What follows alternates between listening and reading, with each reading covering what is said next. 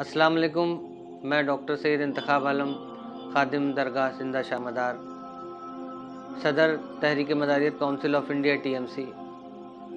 एक लफ्ज़ है फ़िलिस्तीन, इससे शायद ही आज कोई दर्द भरा दिल ना वाकिफ़ हो, क्योंकि मजलूमियत का दूसरा नाम फ़िलिस्तीन बन चुका है। जिन तकलीफ़ों से फ़िलिस्तीन के मज़लूम गुज़र रहे हैं, हम लोग भी उस तकलीफ़ को महसूस कर रहे हैं।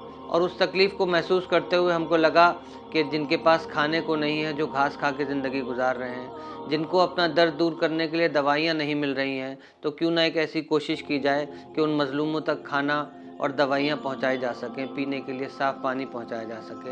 एक कोशिश की है Tehreek Madariyat council of India, TMC ने। एक बार कोड आपको स्क्रीन पर दिखाई दे रहा होगा।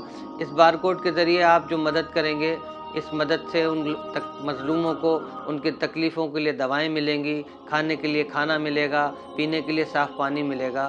तो आपसे गुजारिश है कि एक छोटी सी मदद आपकी उन मज़लूमों तक खाना, पानी और दवाइयाँ पहुँचा सकती है।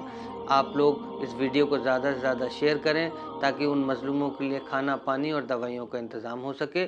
बहुत बहुत शुक्रिया, खुदा हाफिज़।